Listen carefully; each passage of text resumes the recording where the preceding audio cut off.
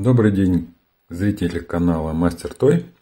У каждого из нас, скорее всего, уже давным-давно есть быстрые зарядки, и мы э, каждый день заряжаем э, все устройства, которые у нас есть под рукой с помощью разъемов Type-C, micro-USB, смартфоны, часы, планшеты, ноутбуки и так далее. Если они имеют разъем, например, сейчас современный Type-C, то нет проблем. Быстрый блок питания, такой как вот этот, например, может справиться с любой нагрузкой. Вот у меня 65 Вт. Здесь мы будем видеть амперы. Вот сейчас вот ничего не подключено по нулям.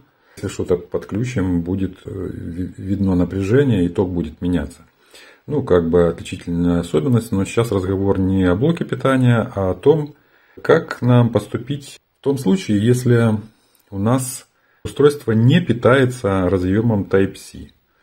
Например, вот у нас монитор стоит Xiaomi, и у него вот такой вот разъем. Да? А для этого существуют вот такие вот э, переходнички, как вот этот вот. Они достаточно дорогие, но как для кого, как бы. Если мы его подключим, мы получим сразу 12 вольт. То есть вот это подойдет для монитора Xiaomi, например. Так. Но что делать, если у нас не Xiaomi, не монитор и вообще э, на всякий случай жизни, что нам делать, если мы хотим что-то запитать кроме этого? И для этого есть совершенно элементарно простецкая, очень дешевая, полбакса стоит вот такое вот устройство. Это триггер в нем ничего нет, кроме переключателя и э, под винтик сюда можно, значит, э, два провода и потом на любой там вот точно такой же можно сделать. Если этот денег стоит, то этот будет стоить совсем ничего. Найдете где-то разъем, припаяете два провода и вот сюда плюс-минус. Главное не перепутать полярность. Будет вам то же самое. Обойдется это там в полбакса. А здесь, я не знаю, 5, например. Так, теперь давайте разберемся, как это работает. Очень просто. Берем, подключаем его к Type-C. И мы видим, что у нас тут 5 э, вольт. Кстати, сзади на нем чего-то там нацарапано, но абсолютно неправильно. Я вам в конце потом покажу правильную табличку. И теперь давайте я, например, сделаю не 5 вольт, когда все эти переключатели вниз, а, например, 9 вольт. Хотите?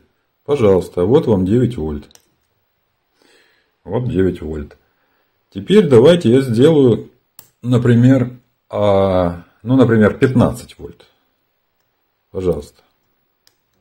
Вот вам 15 вольт. Хотите 20?